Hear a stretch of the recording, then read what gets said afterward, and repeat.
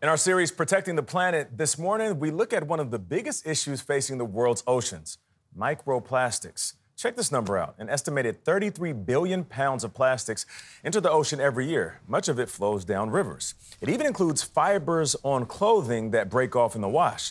Senior national and environmental correspondent Ben Tracy met with scientists along the coast of Panama studying what happens when all of this plastic sinks into the ocean and perhaps enters the food we eat.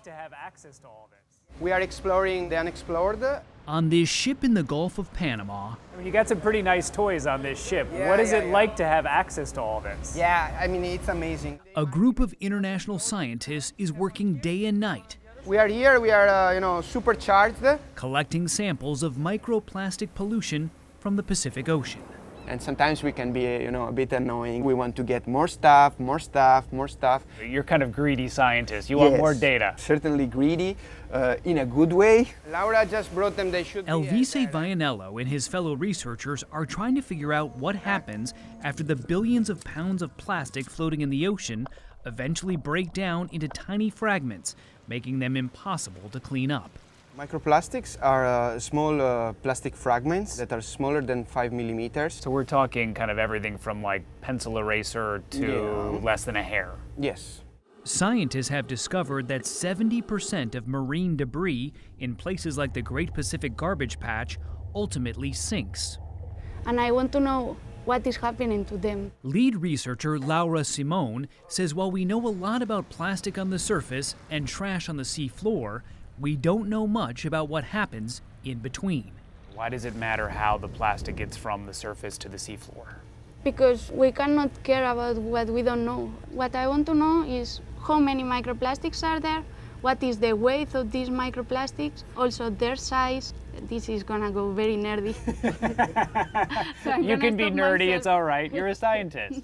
The ocean is now drowning in plastic, an estimated 170 trillion pieces of it, according to a new study. That's more than 21,000 for every person on the planet. At current rates, ocean plastic will weigh more than all the fish in the sea by 2050. The scientists sink this device to various depths to collect samples. Dozens of gallons of seawater is sealed up and shipped back to their lab in Denmark to be studied for months to come. The data could help us understand the impacts of microplastic pollution on everything from the ocean's ability to cool the earth to human health through the food we eat. Fish like tuna, swordfish, sardines, Because at the end of the day, a lot of us are eating these fish that are ingesting all of these microplastics. That's true. This is where the magic happens. That's very They are conducting their research on a ship owned by the Schmidt Ocean Institute, funded by former Google CEO Eric Schmidt and his wife Wendy. It's doing what we dreamed for it to do.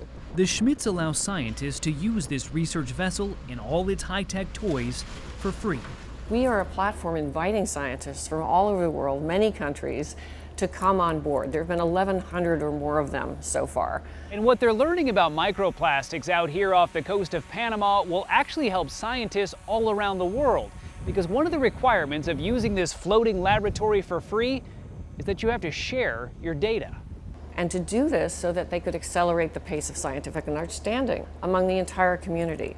Close it, Alvise. These scientists hope that understanding more about the mega problem of microplastics will help inspire us to keep our trash out of the planet's treasures. all the knowledge that has been uh, you know gained uh, during these years about plastic pollution i think it's starting to change uh, uh, people's mind So I'm going to secure the sample. sample secured For CBS Mornings, I'm Ben Tracy, off the coast of Panama.